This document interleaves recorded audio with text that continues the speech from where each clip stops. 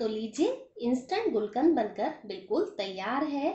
इसे बनाने में ना तो बहुत ज़्यादा टाइम लगता है और ना ही ये चीनी का बना हुआ है। विदाउट चीनी है हेल्थ के लिए बहुत ज़्यादा बेनिफिशियल है। रोज इसे खाएँ। गर्मियों में तो खासकर गुलकंद खाना चाहिए। आँखों की रोशनी के लिए बहुत अच्छा होता है। डाइजेशन सिस्टम को हमारे इम्प्रूव करता है। मेमोरी पावर को बढ़ाता है। ब्लड को प्यूरिफायर करता है। बहुत सारे इसके अपने गुण हैं और इसमें जितनी भी चीज़ें हमने डाली हैं, उनके सबके अपने अपने गुण हैं। हर चीज़ की तासीर इसमें ठंडी है, चाहे सौंफ हो, चाहे फूल हो। तो सारी चीज़ें बहुत अच्छी हैं, इसे ज़रूर बनाएँ।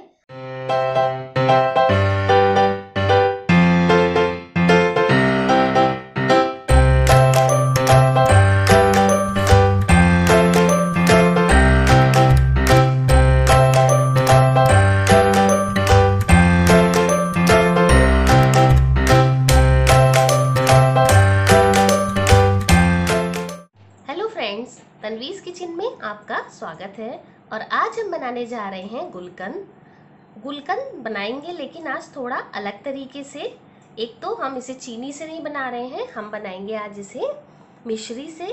और दूसरा हम इसमें डालेंगे ड्राई फ्रूट्स, जो एक माउथ फ्रेशनर का काम करेगा। आप इसको ऐसे ही खा सकते हैं, जो बहुत टेस्टी लगता है खाने में। तो आइए देखते हैं इसके लिए हमें क्या क्या चाहिए। तो हमने ली है यहाँ पर आधा कप गुलाब की पत्तियाँ, गुलाब के फूल को तोड़ लिया, उसमें से पत्तियाँ अलग कर ली और उसके बाद उन्हें अच्छी तरीके से धो लिया। उसकी जो ग्रीन डंडी या पत्ती थी, वो सारी हमने निकाल दी हैं और दो बार अच्छे से धोने के बाद इनको हमने ले लिया है। ये ली है हमने मिश्री, लेकिन मिश्री आपको लेनी है जो धागे वाली आती है, यानी ये डेले वाली मिश्री लेनी है। ये हमने 200 ग्राम मिश्री ली है। ये बारीक कटे काजू हैं, ये आप अपनी इच्छा अनुसार ले सकते हैं, जितना आपको डालना है, ये हमने एक टेबल स्पून लिए हैं। एक से डेढ़ टेबल स्पून के करीब हमने कटे हुए बादाम लिए हैं। आप अखरोट भी डाल सकते हैं। एक पिंच साइट्रिक एसिड, दस से बारह इलायची के दाने निकाल लिए हैं ये हमने। ये साबुत दाने हैं, इन्हें कुछ नहीं करना, पीसना भी नहीं है, क्योंकि इसके साथ हमने लिया है इलायची का पाउडर, ये हमने ग्रीन जो इलायची होती है, हरी इलायची, उसको हमने थोड़ी सी चीनी डाल के या मिश्री डाल के आप पीस सकते हैं उसे। इसमें हम सब मिश्री का यूज़ कर रहे हैं तो हमने इसे मिश्री डाल के थोड़ी सी मिश्री डाली और इलायची डाली, उसको पीस लिया है। तो एक टीस्पून ये पाउडर लिया है इलायची का। और थोड़ी सी मिश्री जो नीचे बच जाती है छोटे छोटे टुकड़े जो रह जाते हैं, वो लिए हैं हमने। और एक टीस्पून सौंफ, आइए इसे बनाना शुरू करते हैं। अब सबसे पहले हमें इस मिश्री का पाउडर बनाना है। पाउडर बनाने के लिए जो ये बड़े बड़े डेले हैं, इनको हम पहले तोड़ लेंगे किसी चीज़ से। छोटे छोटे कर लेंगे छोटे छोटे पीस को फिर हम मिक्सी में पीस लेंगे। ये मैंने पीस के रखा हुआ है। अब हमें पैन लेना है और पैन में हम डालेंगे सबसे पहले गुलाब की पत्तियाँ। और ये गुलकंद जो हम बना रहे हैं, वो इंस्टेंट गुलकंद है तो बहुत जल्दी बन जाता है और बहुत सारी हमें कोई चीज़ें भी नहीं चाहिए।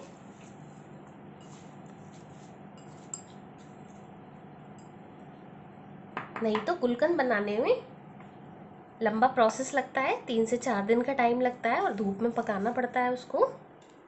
और अब हम इसमें ये मिश्री का पाउडर डालेंगे। और इस पाउडर को डालने के बाद हम गुलाब की पत्तियों को इसमें अच्छे से मैश करेंगे। हाथ से ही मैश करना है।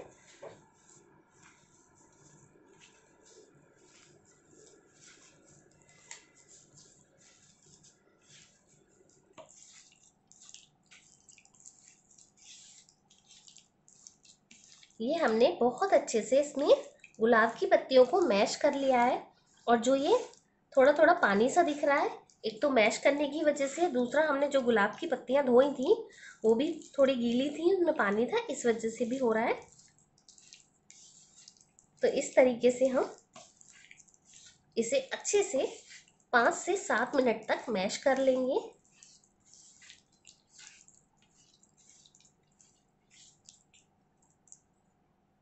और अब मैश करने के बाद इसमें हम डालेंगे पिसी हुई चीनी का पाउडर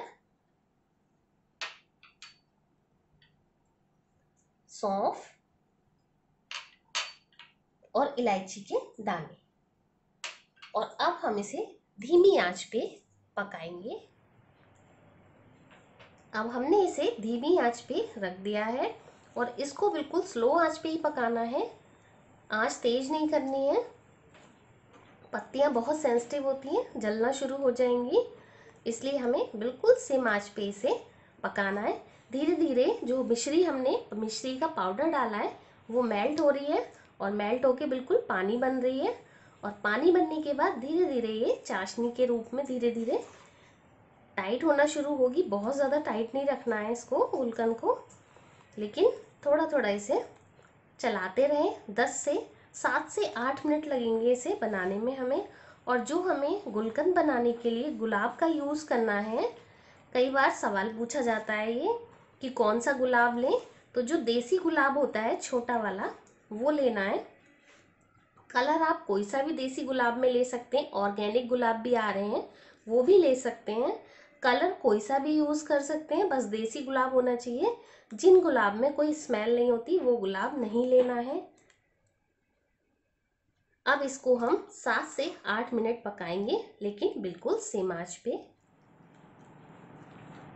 अब इसे धीमी आँच पे पकाते हुए हमें पाँच मिनट हो चुके हैं।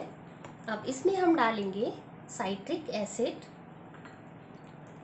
साइट्रिक एसिड इसलिए डाल रहे हैं ताकि इसमें जब हम इसे रखेंगे तो चीनी इसमें, चीनी या जो हमने मिश्री डाली है, वो इसमें क्रिस्टलाइज ना हो, जमे ना, इस वजह से डालते हैं।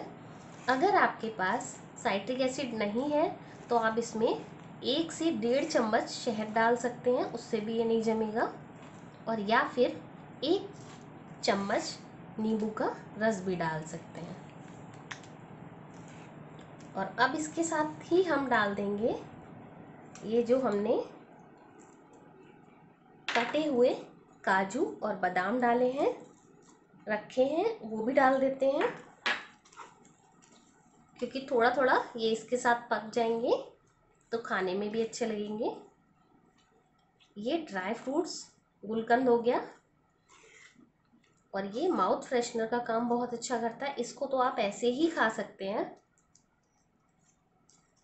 और ना ही हम इसमें कोई कलर डाल रहे हैं, ना ही कोई प्रिजर्वेटिव डाल रहे हैं, सिर्फ़ हमने साइट्रिक एसिड डाला है, वो भी इसलिए डाला है कि इसमें क्रिस्टलाइजेशन ना हो जब ये रखा जाए और इसको आप छः महीने तक आराम से छः सात महीने तक रख सकते हैं। आप फ्रिज में रख के इसे स्टोर करें, किसी कांच की शीशी में रखें तो ये बिल्कुल भी ख़राब नहीं होगा।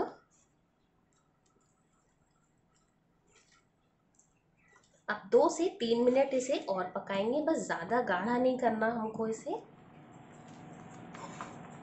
अब ये बनकर बिल्कुल तैयार है। गैस को हम बंद कर देते हैं और इसको हम ठंडा करेंगे।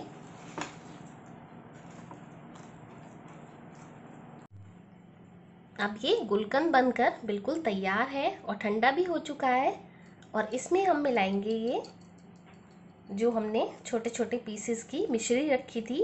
ये ऑप्शनल है खाने में। जब हम इसको खाते हैं तो इसकी क्रंचीनेस आती है मुँह में तो वो अच्छी लगती है। अगर किसी को नहीं पसंद है तो आप ना डालें और इसको अच्छे से मिक्स कर देंगे। और अब हम इसे बाउल में ट्रांसफ़र कर लेंगे और आपको इसे रखना है तो आप कांच के जार में इसे भर के रख सकते हैं।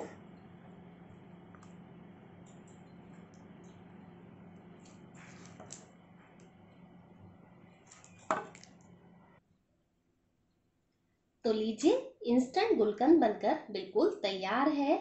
इसे बनाने में ना तो बहुत ज़्यादा टाइम लगता है और ना ही ये चीनी का बना हुआ है। विदाउट चीनी है हेल्थ के लिए बहुत ज़्यादा बेनिफिशियल है। रोज़ इसे खाएँ।